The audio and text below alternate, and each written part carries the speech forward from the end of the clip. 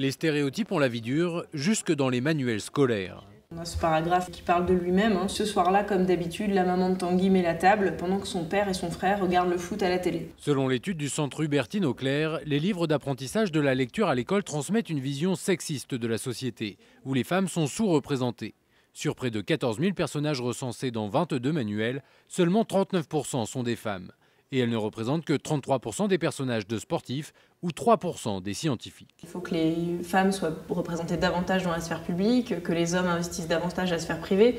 Et puis de manière plus générale, on veut voir euh, des familles différentes, des familles euh, monoparentales, homoparentales, sans enfants. Les éditeurs se disent attentifs à la question, mais difficile d'aller à l'encontre de certaines représentations répandues. Quand on dit que maman va chercher un enfant à l'école, en effet, aujourd'hui, euh, les enfants se reconnaissent dans le fait que la plupart des, dans la plupart des cas, les mamans vont à l'école. Dès l'an prochain, les nouveaux programmes vont entraîner un renouvellement des livres scolaires.